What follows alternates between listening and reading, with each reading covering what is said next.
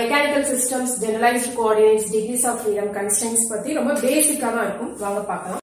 Mechanical சிஸ்டம்ஸ நம்ம motion வச்சு இயக்கம் வச்சு ரெண்டா பிரிக்கலாம். Translational system rotational system translational system rotational system. Rotational system. இதுல பாத்தீங்கன்னா நம்ம டிஸ்பிளேஸ்மெண்ட் x அதே இது ரொட்டேஷனல் சிஸ்டம் மெக்கானிக்கல் சிஸ்டத்துல எடுத்துட்டோம்னா ஆங்குலர் டிஸ்பிளேஸ்மெண்ட் தீட்டா இங்க வெலாசிட்டி டிஎக்ஸ் பை டிடி இங்க கரஸ்பாண்டிங்கா என்ன படிப்போம்?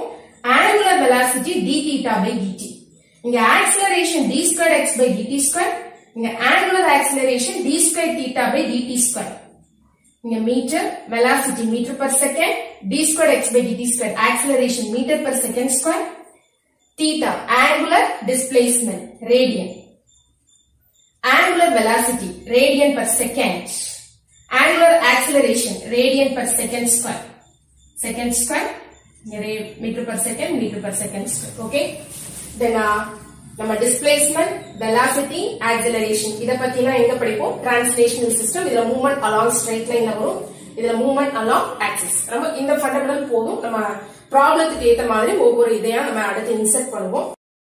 Generalised coordinates degrees of freedom constraints இதெல்லாம் சொல்றதுக்கு முன்னாடி ஃபர்ஸ்ட் நம்ம கொஞ்சம் எக்ஸாம்பிள்ஸ் சொல்லிட்டு அதுக்கப்புறம் நான் டெஃபினிஷனுக்கு வரேன். உங்களுக்கு நல்லா புரியும். இப்ப வந்து ஒரு பார்ட்டிக்கல் இந்த சர்க்குலர் சர்க்கம்ஃபரன்ஸ் ஆஃப் த சர்க்கிள்ல மூவ் ஆகுதுன்னு வச்சுக்கோங்க. சர்க்கிளோட சர்க்கம்ஃபரன்ஸ்ல ஒரு பார்ட்டிக்கல் இப்படி டிராவல் பண்ணுது. ஒரே ஒரு பார்ட்டிக்கல் அதோடைய மோஷன் நம்ம பாக்குறோம் அப்படி மூவ் ஆகுது. அப்ப இதுக்கு ஏதாவது ஒரு மூவ் ஆகுதுன்னா இங்க ஏதாவது ஒரு லிமிடேஷன் இருக்கா? ஏதாவது ஒரு கண்டிஷன் இருக்கா? ஆமா. சென்டர்ல இருந்து இந்த பார்ட்டிக்கல் எந்த இடத்துல இருந்தாலும் அந்த டிஸ்டன்ஸ் ஈக்குவல் ஏன்னா அதான் ரேடியஸ் ஆஃப் த சர்க்கிள் அப்ப radius is equal to constant அப்படின்னு ஒரு கண்டிஷன் இருக்கு. அப்படின்னு நம்ம ஒரு கண்டிஷனை வைக்கிறோம். பொதுவா நம்ம சர்க்கிள்க்கு போலார் கோஆர்டினேட்ஸா இருந்தா ஆர் தீட்டா இருக்கும். தென் கார்டீசியன் கோஆர்டினேட்டா இருந்தா எக்ஸ் ஒய் இருக்கும். அப்ப நம்பர் ஆஃப் கோஆர்டினேட்ஸ் எத்தனை? Xy X Y X Y number of coordinates என்னது டூ இப்ப ஜெனரலைஸ்டு கோஆர்டினேட்ஸ்க்கு பாருங்க அங்க என்ன கண்டிஷன் இருக்கு?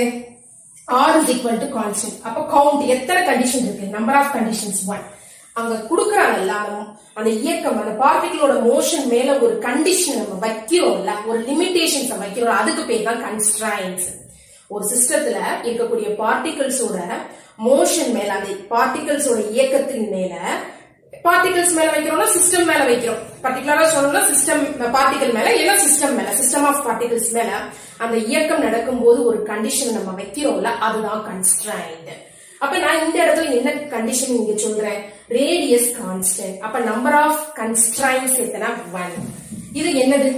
இது வந்து டூ சர்க்கிள் தானே? அப்ப டூ டைமென்ஷன் இப்ப ஜெனரலா number of dimension number of dimension number of dimensions into number of particles number of particles minus number of constraints number of constraints இதுதான் degrees of ஃப்ரீடத்துக்கு formula degrees of freedom degrees of ஃப்ரீடத்துக்கு என்ன formula number of dimensions into number of particles minus number of constraints இப்ப number of dimension circle தானே சொன்னேன்.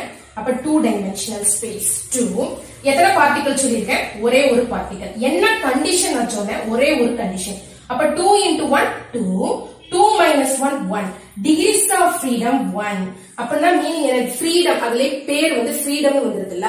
இப்ப இப்ப decrease of freedom இன்னொரு ஒரு example மூலமா சொல்லிட்டு இந்த இடத்துக்கு வரேன். இப்ப இதுதான் ஸ்பேஸ் இந்த இடத்துல வந்து ஒரு புள்ளி இப்படி மதந்துட்டு இருக்கு. ஒரு பார்ட்டிகல் மதந்துட்டு இருக்கு. அதை நான் பாக்குறேன் அது வந்து எக்ஸ் டைரக்ஷன்ல இப்ப ஸ்பேஸ் த்ரீ டைமென்ஷனல் ஸ்பேஸ் அது எக்ஸ் டைரக்ஷன்ல போகலாம் ஒய் டைரக்ஷன்ல போகலாம் இசட் டைரக்ஷன்ல போகலாம். அப்போ மூவ்ஸ் ஃப்ரீலி அந்த பார்ட்டிகல் வந்து இந்த ஸ்பேஸ்ல வந்து ஃப்ரீயா மூவ் ஆயிட்டு இருக்கு.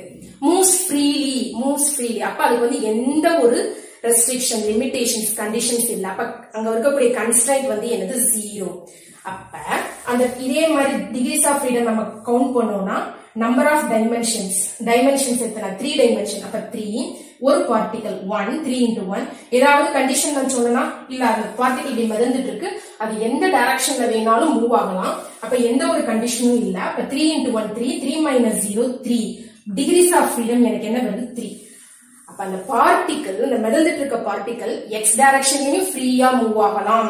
ஒய் டைரக்ஷன்லயும் ஃப்ரீயா மூவ் ஆகலாம். இசட் டைரக்ஷன்லயும் ஃப்ரீயா மூவ் ஆகலாம். அதுக்கு கொடுக்கப்பட்ட ஃப்ரீடம் எக்ஸ்ல மூவ் ஆகலாம் ஒய்ல மூவ் ஆகலாம் ஒய் டைரக்ஷன்ல மூவ் ஆகலாம் இசட் டைரக்ஷன்ல மூவ் ஆகலாம். அதுக்கு கொடுக்கப்பட்ட டிகிரிஸ் ஆஃப் ஃப்ரீடம் த்ரீ எந்த ரெஸ்ட்ரிக்ஷனும் இல்லை.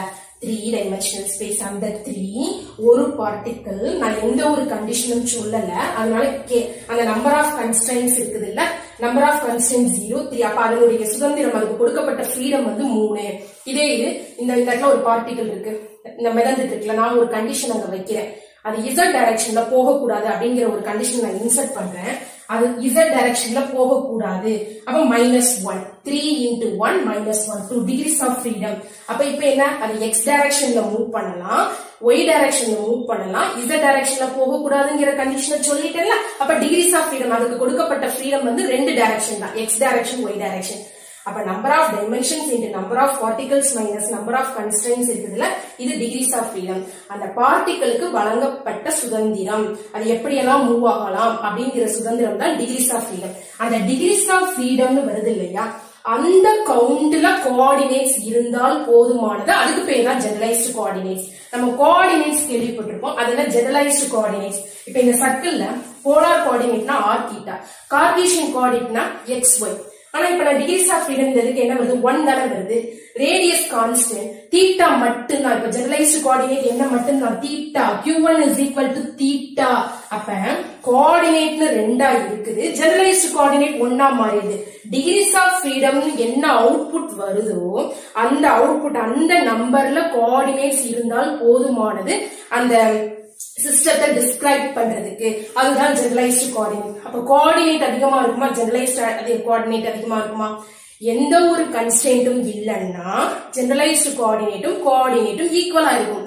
கன்ஸ்டன்ஸ் அங்க இருந்ததுன்னா ஜெனரலைஸ்டு கோஆர்டினேட்டோட கவுண்ட் வந்து கம்மியா இருக்கும். இப்போ ஃபார் எக்ஸாம்பிள் என் பார்ட்டிகல் இருக்கு. அது த்ரீ டைமென்ஷனல் ஸ்பேஸ் அங்க ஒரு கே கன்ஸ்டன்ஸ் இருக்குன்னா three N minus K degrees of freedom அப்ப Q1 Q2 ல இருந்து Q3n மைனஸ் கே வரைக்கும் நமக்கு என்ன இருக்கும்? ஜெனரலைஸ்டு கோஆர்டினேட் ஓகேவா ஆனா நமக்கு என்ன கோஆர்டினேட்ஸ் பார்த்தா எத்தனை இருந்திருக்கும்? Q1 Q2 ல இருந்து Q3n வரைக்கும் கோஆர்டினேட்ஸ் இருந்திருக்கும். கே கன்ஸ்டன்ஸ் அங்க இருக்கிறதுனால இப்ப Q1 Q2 Q3n minus K வரைக்கும் ஜெனரலைஸ்டு கோஆர்டினேட் இப்ப ஜெனரலைஸ்டு கோஆர்டினேட்டோட யூசேஜ் உங்களுக்கு புரியுதா? அது வந்து அந்த கோஆர்டினேட்ஸோட கவுண்ட்டை வந்து ரெடியூஸ் பண்ணுது. இவ்வளவு இருந்தா போதும். அதெல்லாம் தேவையில்லை. இப்ப ஆர் தீட்டால ஜெனரலைஸ்ட் கோஆர்டினேட் தீட்டா மட்டும் தான் இந்த இடத்துல ஆர் தேவையில்லை. தீட்டாவை வச்சு நம்ம என்ன பண்ணிடலாம்? ப்ராப்ளம் சால்வ் பண்ணிடலாம். அதனால இந்த ஜெனரலைஸ்ட் கோஆர்டினேட் தீட்டா இப்ப புரியுதா?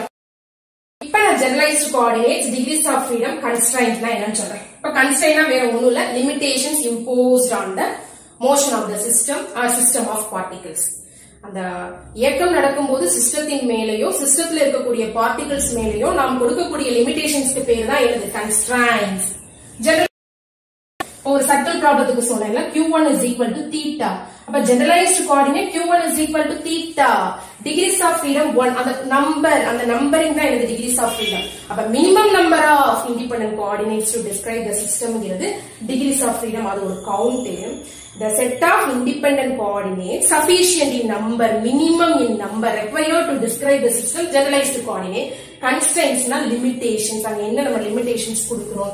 அப்ப மெக்கானிக்கல் சிஸ்டம் எல்லா பத்தியும் கொஞ்சம் பேசிக்கா சொல்லிட்டேன். இப்ப சில எக்ஸாம்பிள்ஸ் பார்ப்போம்.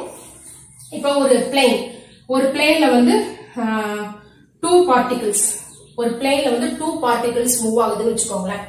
இப்ப பிளேன் நான் சொல்லிட்டேன். நான் என்ன சொன்னேன்? பிளேன்னு சொல்லிட்டேன். அப்ப டூ டைமென்ஷனல் ஒரு பிளேன்ல டூ பார்ட்டிகல்ஸ் மூவ் ஆகுது. எத்தனை பார்ட்டிகல் டூ பார்ட்டிகல் நான் என்ன அந்த ஃபார்முலா கொடுத்துருக்கேன்ல? அப்ப நமக்கு த்ரீ டைமென்ஷன் ஸ்பேஸ் ஆகியிருந்தா த்ரீ என் மைனஸ் கே வரும். இல்லைன்னா டூ என் மைனஸ் கே வரும். அப்ப பிளேன்ல டூ பார்ட்டிகல்ஸ் மூவ் ஃப்ரீலி வச்சுப்போம். அப்ப கே ஜீரோ கே என்ன வரும்? ஜீரோ வரும். எத்தனை பார்ட்டிகல் ரெண்டு பார்ட்டிகல் இருந்தாலும் டூ டைமென்ஷன் இப்போ டூ இன்டு டூ எந்த ஒரு கண்டிஷனும் இல்லை. Zero degrees of freedom four அப்ப இங்க டிகிரிஸ் ஆஃப் ஃப்ரீடம் என்னது? ஃபோர் அந்த ஜெனரலைஸ்டு கோஆர்டினேட்ஸ் எதெல்லாம் வரும்? Q one Q two Q three Q four ஒரு ஃபைவ் பார்ட்டிகல்ஸ் இந்த ஸ்பேஸ்ல இருக்கதா எடுத்துக்கோங்க. ஃபைவ் பார்ட்டிகல்ஸ் எந்த ஒரு ரெஸ்ட்ரிக்ஷனுமே நான் கொடுக்கல. அப்ப த்ரீ டைமென்ஷனல் ஸ்பேஸ்ல ஃபைவ் பார்ட்டிகல்ஸ் இருக்கு.